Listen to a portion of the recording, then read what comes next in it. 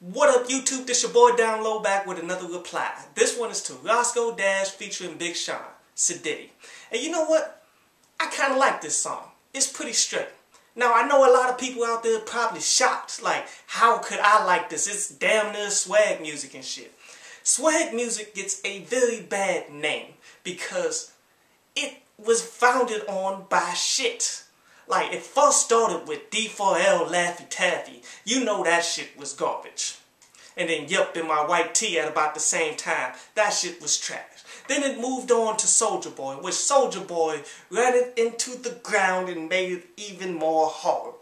But yet, over the years, talented people have been picking up on the style and molding it into a viable commercial option like Roscoe Dash, who I really liked when he first came out because he's doing it exactly the way it should have been done from the beginning. And also including Big Sean on the track was perfect because he's also a commercially viable artist and it was a really good mesh. I'm not saying that this is a must download by any means, I'm just saying it's a decent listen.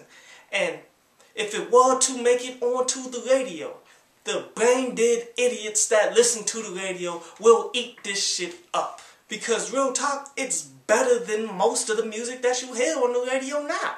And it shows that this swag music style, if in the right hands, can be respectable.